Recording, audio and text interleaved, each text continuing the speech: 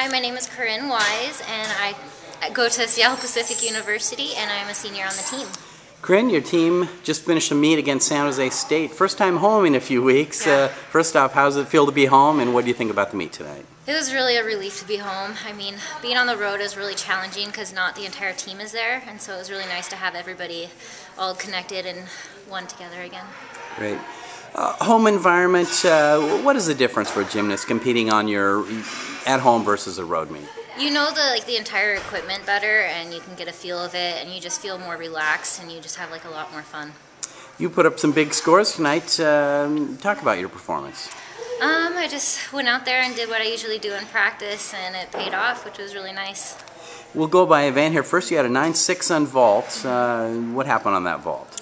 Um, just kept going for it. I mean, I heard the coaches kind of say that I kind of got judged a little low, but that didn't matter. I still put up a fight to stick it. Great. And then a 9-7 on beam, another good beam routine for you. Yeah. Um, that was really good. I, it was the first time that I did my aerial aerial for my series, so I was really pleased with that, and just made me feel really good about myself. Great.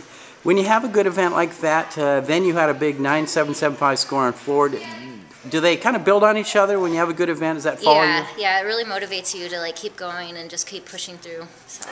What did you do right in the floor today to get that score?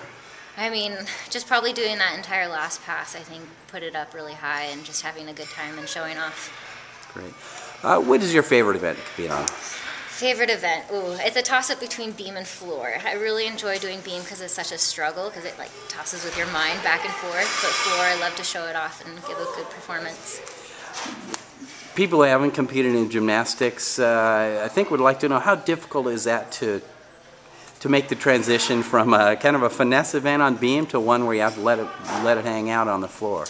Um, you just have to like make sure that you have like the good mindset and the cheering of the team really helps you get motivated and gets you into it. So You've got another meet at home next week. Yes. Uh, first off, Coach Tyndall talked a lot about not just competing in front of the home crowd, but just being home. To, Yes. Is that, uh, you know, what what is the advantage of being home for a couple weeks in a row?